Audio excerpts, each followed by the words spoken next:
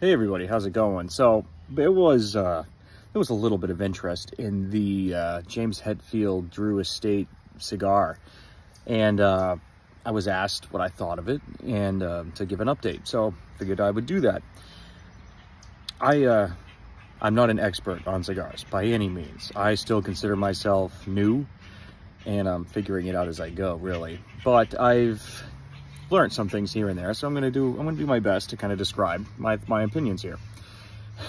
One thing I am very uh, uh, I don't know uh, ashamed to admit is so we got we've got we've got the cigar here, right?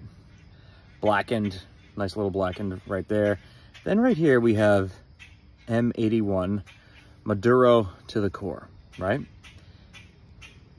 I didn't think of it. Somebody else brought it up. And they said, Metallica 81, the year the year Metallica was officially formed, 1981. And I says, oh my God, I did not think of that. so there you go. You learned something new. I'm ashamed to admit I did not think of that. Somebody else brought it up.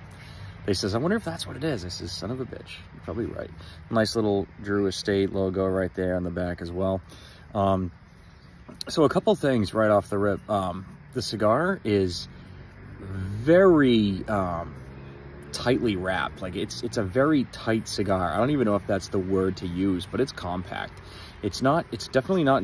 Obviously, it's not dry, but like it's tight. Like it's it's it's dense. I think that's the word I'm looking for. It's a very densely wound cigar. Very dense. I've had some cigars where it's very. It's kind of. It's very light. It's it's doesn't have a lot. I don't know. I don't know what the. I don't know how I'm trying to describe it. Other than that, it like this is dense it's a very dense cigar. And you can feel it when you cut it too. It's it's definitely, it feels like it's got some weight to it, you know what I mean? Um, the other thing too, it's a Maduro, but it's not, I, I guess I use the word bitter. It's not bitter like some Maduros that I've had.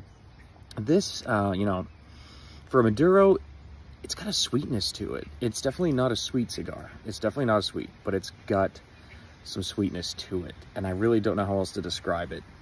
It's a good Maduro. I'm actually very happy with it. And I'm not just saying that because it's a Metallica brand. It is actually a good cigar, in my opinion. In my opinion, it's actually a good cigar. Don't mind the, the dogs. Yeah, yeah, yeah. but I highly recommend it. Um, if you're if you like Maduro, I would I would give them a try. And um, if you're just mildly curious to see what Metallica put out there. Um, I know Blackened also does a whiskey.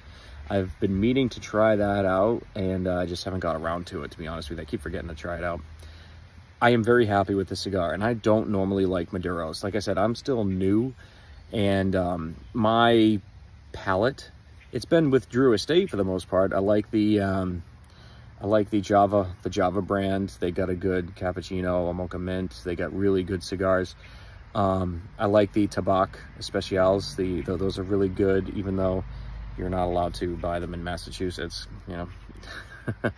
um, but uh, there, it, for a Maduro that I don't normally like, I am very pleased with this, and I will be a returning customer, guaranteed.